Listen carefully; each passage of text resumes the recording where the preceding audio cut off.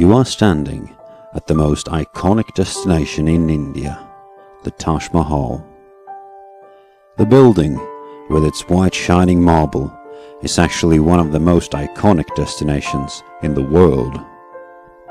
The Taj Mahal has been voted into the Seven New Wonders of the World list and is visited by millions of people each year. While many think Taj Mahal refers to the white marble mausoleum, the Taj Mahal is actually the whole structural complex. In order to enter the Taj Mahal, you pass through the gate building, which leads into the garden. The raised marble water tank between the gatehouse and the mausoleum is called Al Hawad al Kawthar, in reference to the tank of abundance promised to Muhammad, the Prophet of Islam. In addition to the mausoleum, the Taj Mahal is made up of a mosque to the west and a mimic building to the east. The eastern building's purpose was to provide architectural balance or possibly serve as a guest house. Surrounding the main mausoleum stands four minarets. These were used in traditional mosques to call Islamic faithfuls to prayer. While these towers were designed as working minarets, they further displayed the designer's desire for perfect symmetry. So what is the story behind this amazing place? Why was it built and by whom? The story behind Taj Mahal starts when the Mughal emperor-to-be, Shah Jahan, met a Persian noble's daughter, Arjuman Banu.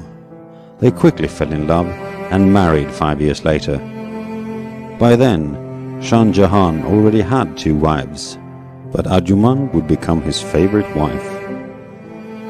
When Shah Jahan became emperor in 1628, he bestowed her the new title, Mumtaz Mahal, meaning jewel of the temple. When Mumtaz Mahal died while giving birth to their 14th child in 1631, Shah Jahan was devastated.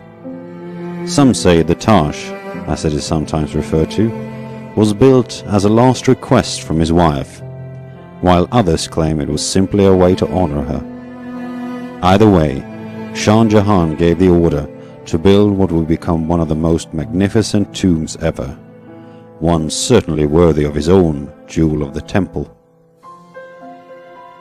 One year after the death of his beloved wife, the construction of the Taj Mahal began. The name Taj Mahal further shows the emperor's dedication and love for his lost wife. Taj is a Hindu origin and means crown, while Mahal refers to the title he bestowed on his wife.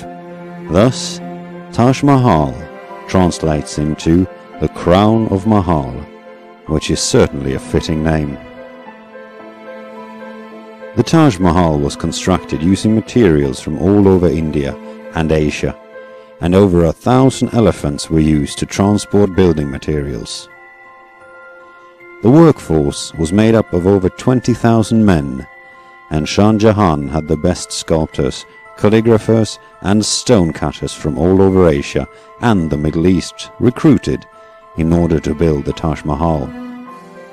The main building was completed 26 years later, in 1648, and the whole building complex as such in 1953.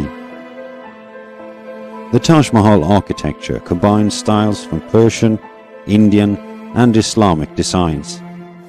It is by many seen as the crown jewel of Muslim art in India. The dome, which has gotten the nickname the Onion Dome due to its looks, stands 35 meters tall, and the dome is crowned by a bronze finial with Persian and Hindu decorative elements.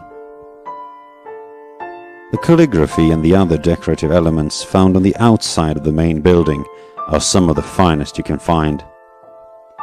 Much of the writing on the building is composed of varieties of Islamic calligraphy scripts, made of jasper or black marble, inlaid in white marble panels.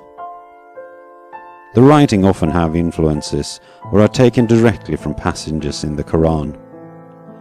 The calligraphy on the great gate reads, O soul, thou art at rest. Return to the Lord at peace with him, and he at peace with you. Today, both Shah Jahan and Mumtaz Mahal rest inside the main building. One might think that their sarcophagi are in the main chamber, but these are actually false graves.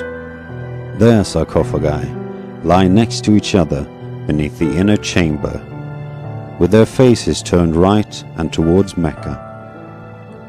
Due to Muslim tradition forbidding elaborate decoration of graves, their graves are relatively plain and simple, in contrast to the tomb buildings surrounding them.